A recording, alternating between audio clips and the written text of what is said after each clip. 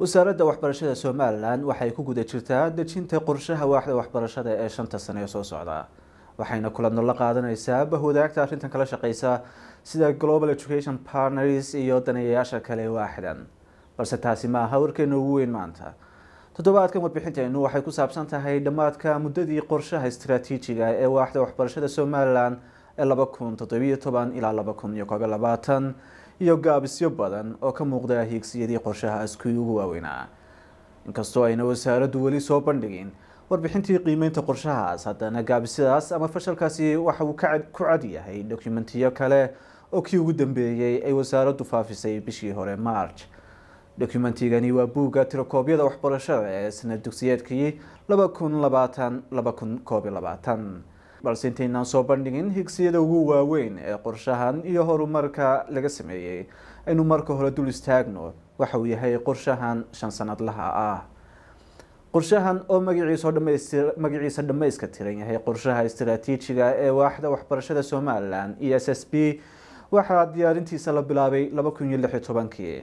Waa markii ay dhammaatay muddadii qorshihii ka horeeyay ee laba kun labayo toban ilaa laba kun iyo lix iyo toban sida uu wasiirkii waxbarashada xilligaas cabdilaahi ibraahim habane sheegay e s s b gu waa dhigani qorsheyneed faahfaahsan oo si waafi ah uu tilmaamaya jidka ay qaadi doonto waaxda waxbarashadu waaxda waxbarashada somalilan muddadan shanta sano ah wuxuu ku kacayay miisaaniyad ku dhow laba boqol iyo lix iyo toddobaatan milyan oo dollar shantaas sannadood. Boqol iyo koob iyo soddon ka mid ah iyo welibana badh dowladda ayaa bixinaysay halka labiyo siddeetanka milyan ee soo hadhayna ay ku yabooheen qaadhaan bixiyayaashu. Qorshuhu wuxuu u qeybsan yahay lix tiiroo waaweyn aynu laba ka mid ah natiijadooda soo qaadi doono. Waa waxbarashada asaasiga ah iyo ta dugsiyada sare. Mid kastoo ka mid ah tiirarkaasna qorshuhu wuxuu u dejiyey himilooyin waaweyn sida ballaadhinta fursadda helitaanka waxbarashada iyo hiigsiyo cayimaan oo leh tilmaamayaal waxqabad performance indicators oo iyaguna cadcad. Waana halkan tafudeydinaysa in la qiimeeyo guusha iyo guuldarrada qorshahan. Tilmaamaha waxqabad ee wasaaraddu u dejisay himilada ah kordhinta fursadda helitaanka waxbarashadu waa gross enrollment ratio oo loosoo gaabiyo geer. Waxayna u taagan tahay saamiga carruurta joogta da-da heer waxbarasho cayiman ee iskuullada dhigata waxaa lagu ogaadaa in tirada carruurta gaadhay da-da heer waxbarasho cayiman sida ta dugsiyada sare loo qeybiyo tirada dhabta ah ee carruurta ku guda jirta waxbarashada heerkaas. Tusaale ahaan somalilan da-da heerka waxbarasho ee dugsiga sare waa afar iyo toban ilaa toddobiyo toban jir. Markaas haddii ay jiraan boqol carruur ah oo afar iyo toban ilaa toddobiyo toban jir ah oo labaatan ka midii ay dhigtaan dugsiyada sare geerka dugsiga sare ee dalku waa labaatan boqolkiiba. Hiigsiyo ku saabsan geerkaas aynu sharaxnay ayaa haddaba qorshahani u dhigay heer kasta oo waxbarasho.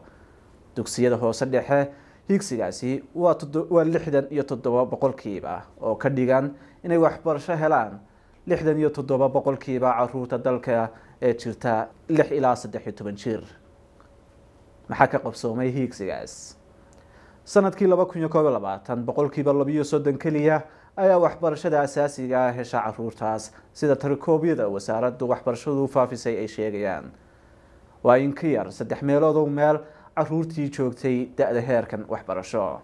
Sidoo kale kala badhna ma aha bartilmaameedkii qorshuhu dejiyey ee lixdan iyo toddoba boqolkiiba intaas waxaa dheer wuxuu in badan ka hooseeyaa heerku joogay intaan la bilaabin qorshahan sanad dugsiyeedkii laba kun afar iyo toban laba kun shan iyo toban afartan iyo afar boqolkiiba taasina waxay ka dhigan tahay in hoosu dhac dhan labiyo toban dhibcood uu soo kordhay shantii sannadood ee ugu dambeeyey waxaana halkaas ka muuqda laba guuldarro isbarkan ta koowaad waa in higsigii qorshaha laga gaabiyey ta labaadna waa in hoos looga dhacay bartii la taagnaa qorshaha ka hor labadaasiba sidoo kale waxay ka muuqdaan dugsiyada sare hiigsiga geerka ee qorshaha waaxda waxbarashadu dhigaya waa shan iyo soddon boqolkiiba. Kala badh ayuunbaa higsigana ka hirgashay oo sideed iyo toban boqolkiiba. Caruurta da-da heerkan waxbarasho ayuunbaa dugsiyada dhiganaysay sannadkii laba kun iyo koob iyo labaatan. Si tii hore la mid a ayaa saamigani sidoo kale ka hooseeya barbilowgii laba kun afar iyo toban shan iyo toban oo ahaa koob iyo labaatan boqolkiiba. Haddaba su'aasha isweydiinta le waxay tahay wuxuu ka dhigan yahay in wasaaraddu ku guul daraysatay hiigsiyadii ay dhigatay. Tusaale ahaan maxaa ka dhalanaya in caruurtii dugsiga sare dhigan lahayd shan kastoo ka mid ah afar ayna dugsiyada aadin? Waxaa su'aashan aan weydiiyey profesor axmed muuse ismaaciil oo ka mid ah barayaasha iyo maamulka jaamacadda burco. Dee saameyn bay keeni kartaa weyn oo xanuun badan ayay ku keeni kartaa. Bulshada guud ahaan bay ku keeni kartaa waxay ku keeni kartaa dhaqaalaha waxay ku keeni kartaa qoysaska waxay ku keeni kartaa nolosha ismaaciga. Intaba way ku keeni kartaa. Dad reer guuraaya oo dibadda maxay tay ama beeralaya bay u badan yihiin.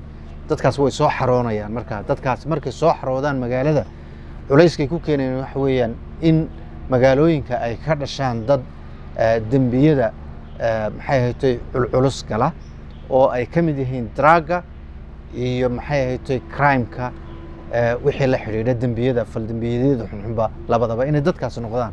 Waayo aqoonna ma haystaan xirfad ay ku shaqaystaanna ma haystaan. Waxay culays ku yihiin dhaqaalaha dalka. Waayo xoogga da'daa labaatan jirku waa xoogga ugu faraha badan ee dhaqaalaha dalka soo koriya.